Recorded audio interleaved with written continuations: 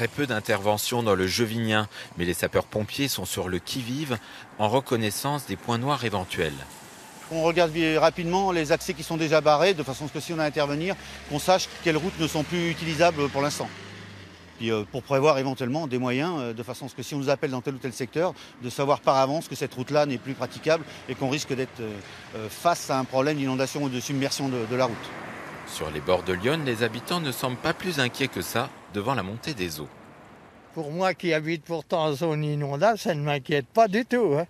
Bon, faut pas qu'ils montent encore un mètre parce que là, je m'inquiéterais. Mais là, je trouve que c'est tout ce qu'il y a de plus normal. Je dirais que s'il il tombe encore de l'eau, ça pourrait être inquiétant. Deux habitations évacuées, cinq logements d'urgence préparés. Le maire de Joigny ne veut rien laisser au hasard.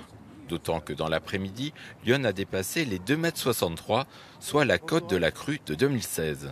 On est euh, sur des valeurs de 2001 qui étaient des valeurs importantes, bien loin des 4 mètres 25 euh, de 1910. Mais euh, voilà, ça pose un, certain nombre de problèmes et c'est une mobilisation de, de, tout le monde. Ce soir, Joigny se prépare à l'arrivée de l'eau. La crue pourrait atteindre les 3 mètres 20. Un des accès à la zone commerciale de la petite île a été fermé. Une zone commerciale qui risque de trop bien porter son nom.